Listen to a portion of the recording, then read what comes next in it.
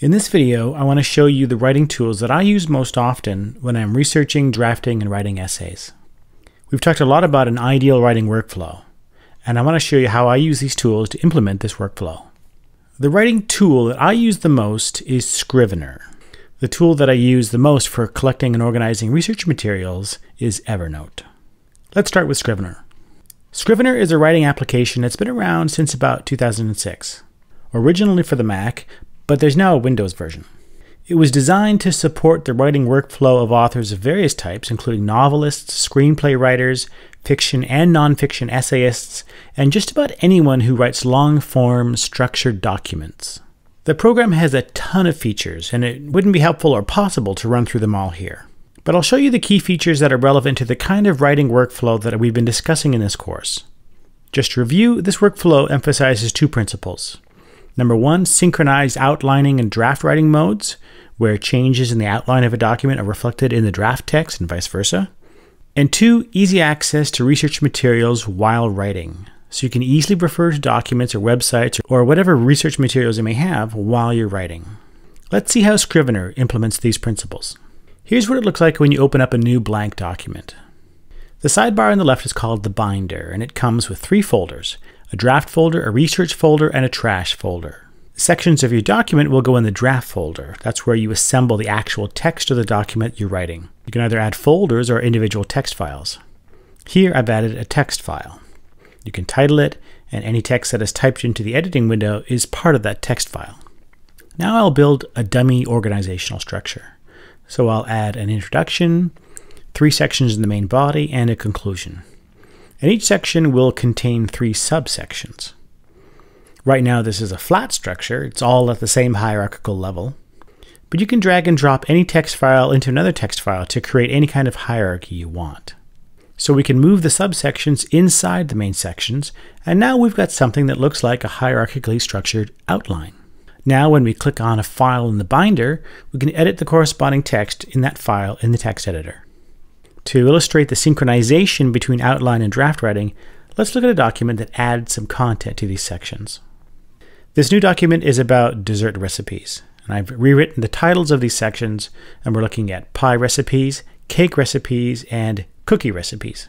And we've got three different pie recipes in the pie section, three cake recipes in the cake section, and so on. Now, these look like they're all separate text files, and they are. That's how Scrivener stores them. But we can look at the whole document at once by selecting all of the sections in the binder, or by selecting the top level folder and clicking on the Scrivenings View button in the top toolbar.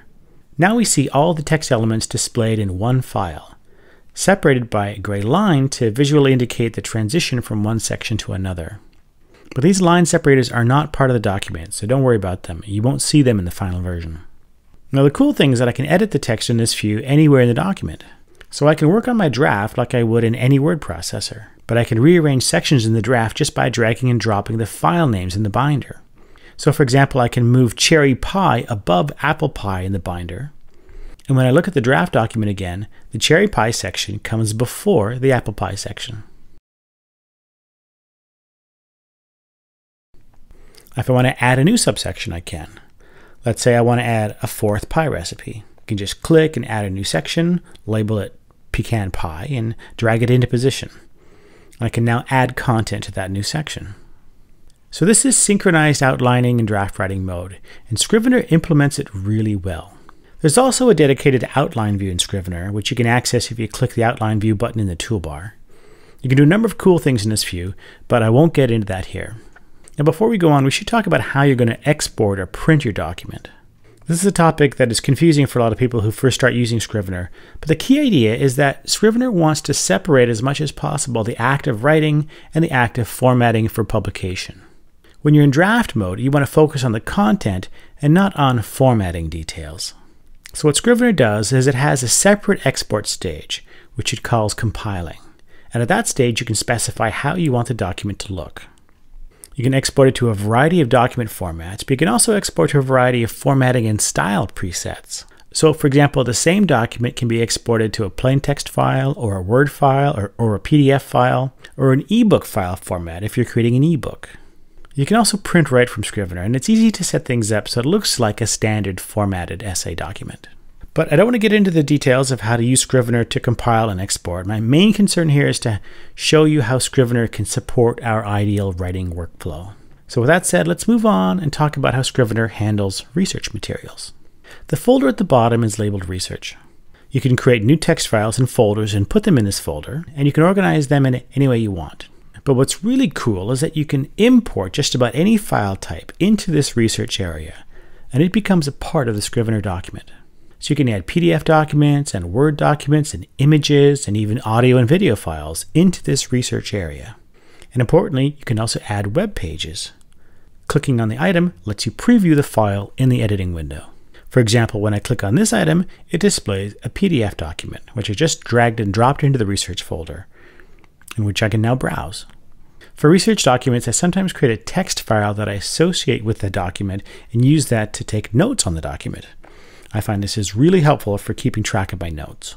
Now when I click on this item, it displays an audio file, which I can listen to right in the program.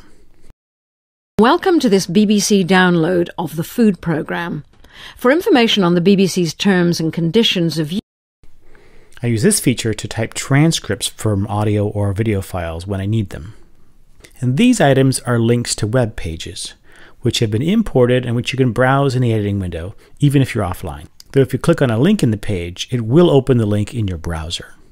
To bring a web page into your Scrivener document, one of the easiest ways is to just highlight the URL of the web page that you're browsing and drag it into the folder, where it takes a few seconds to process the import and then it will display the web page right in Scrivener.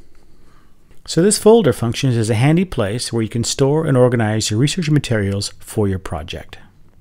Now, what makes this even more powerful in Scrivener is the ability to split your screen so you can view two documents at once. You click on this icon in the top right to split the screen. You can load any item into either pane. Click on the top pane to set the focus, and click a text file in the binder. That file is displayed. Click on the lower pane to reset the focus, and now click on one of the research items, say, and it's loaded into the bottom pane. If it's more convenient, you can switch to a vertical split. So now I can write my draft text in the editor while having immediate visual access to my research source. I can paraphrase or summarize or refer to the source. I can even cut and paste if I want to use a direct quotation. This is a very powerful feature of Scrivener that I use all the time when I'm just taking notes and when I'm writing my draft. In later videos, I'm going to show you how I use these features in action as I go through the process of writing an actual essay. But now I want to move on and talk about Evernote the tool I use for collecting research materials, especially when I'm web browsing. Evernote is a very popular note taking and archiving application. There are online, desktop, and mobile versions of the Evernote app. And with an online account, you can synchronize your notes across all your different devices. There are free versions and paid versions, but I'm not interested in the details of how the program works and everything you can do with it, because like Scrivener, it comes with a ton of features that you may never use in your writing.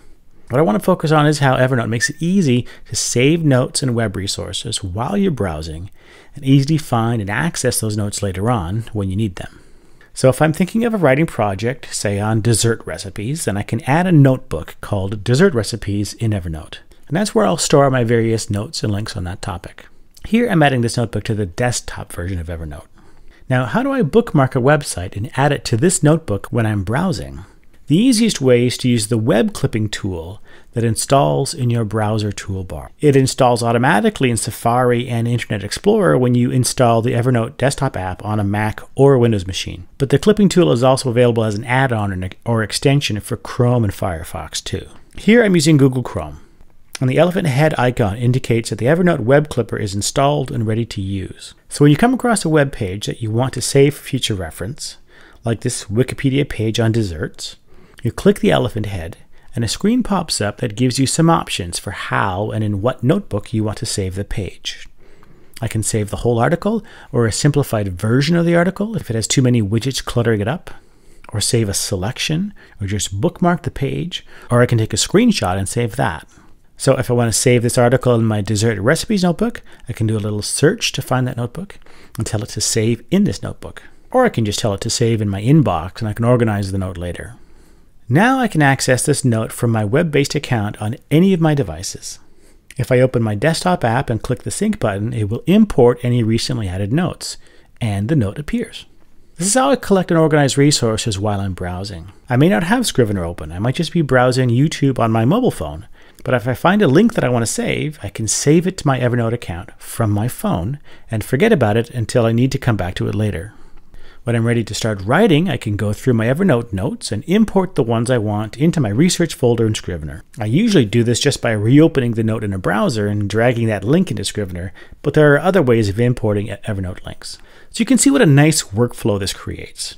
I don't need to have Scrivener open all the time. I can do my web browsing and my researching whenever the mood hits. And then I can import those notes into Scrivener and have ready access to them when I'm actually writing. So, to sum up, the writing workflow that I'm looking for is one that allows for synchronized outlining and draft writing, and easy access to research materials while I'm writing. Scrivener is the main tool I use for implementing this workflow. Evernote is handy for collecting and organizing research materials when I'm browsing the web or making notes to myself, and it works well with Scrivener in that it's easy to import those notes into the research folder in Scrivener when I want to start writing. Now, in the next few videos, I'm going to show you how I use Scrivener to set up and follow a structured approach to essay writing.